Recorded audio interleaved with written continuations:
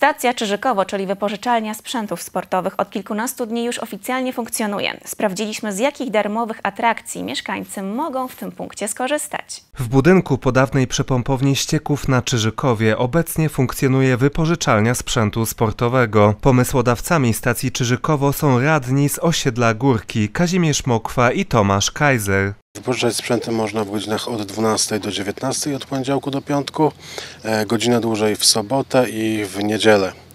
E, Można tutaj wypożyczyć e, rowery, większe, mniejsze, kilka hulajnóg, wrotki, rolki czy leżaki e, takie do opalania się powiedzmy, czy do, do posiedzenia sobie tutaj na tym fajnym zielonym terenie.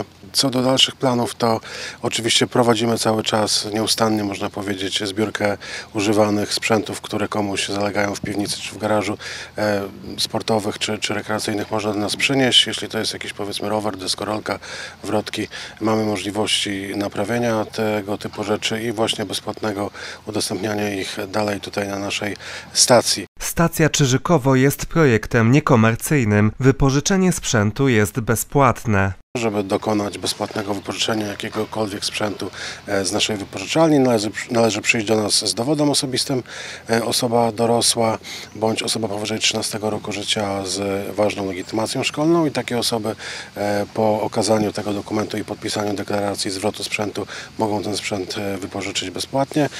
Dzieci poniżej 13 roku życia muszą przyjść z kimś dorosłym, który w ich w imieniu właśnie takiego dziecka dokona wypożyczenia sprzętu. Na stacji Czyżykowo sprzęt wypożyczają wolontariusze. Kto najczęściej korzysta na przykład z rowerów czy hulajnóg? Wiek osób jest bardzo zmieszany tak naprawdę, bo przychodzą i dzieci poniżej tego 13 roku życia, którzy muszą właśnie wypożyczać z, yy, z udziałem rodzica swojego, ale także przychodzą dzieci powyżej 13 roku życia yy, oraz osoby nawet dorosłe, szczerze mówiąc, przychodzą yy, wypożyczyć jakieś rowery, najczęściej właśnie osoby dorosłe rowery wypożyczają.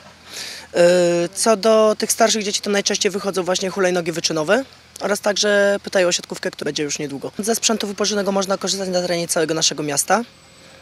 Wyp- Osoba, która wypożyczyła taki sprzęt ma na to godzinę, żeby go zwrócić potem. Stacja Czyżykowo zaoferuje latem nie tylko sprzęt. Na pewno zorganizujemy turniej e, tutaj osiedlowy w Babingtonach. E, Będzie też jeden turniej w siatkówkę plażową, bo jest tutaj e, wyśmienite boisko do siatkówki plażowej. Czekamy jeszcze tylko na siatkę.